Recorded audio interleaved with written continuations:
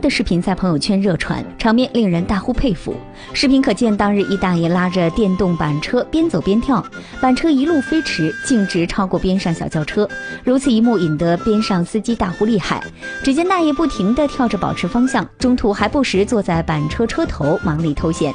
对此，不少网友表示：“秋名山老司机前来报道。”还有网友感慨：“不服不行，你大爷还是你大爷。”